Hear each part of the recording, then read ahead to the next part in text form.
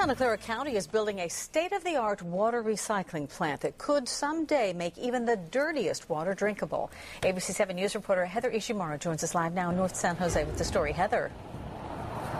Cheryl, the water recycled here at this new plant will not be for drinking. Rather, it will be for irrigation and industry. But it could be that the technology they're using here in 15 years or so could be used to clean even wastewater, yes, sewage, to make it clean enough to drink.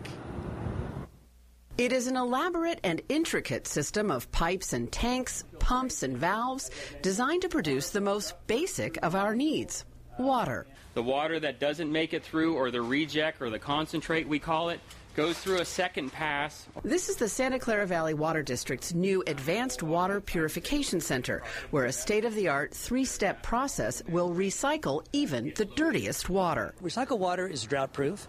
It's water that's in our county that we can use. It's water that otherwise would be going to the, the bay and so we're being uh, wise stewards of the resource. It's still under construction, but when done in mid 2013, the $65 million center will make up to 10 million gallons of highly purified water a day. The three step process involves microfiltration, where water is pushed through a membrane with holes 1 300th the width of a human hair.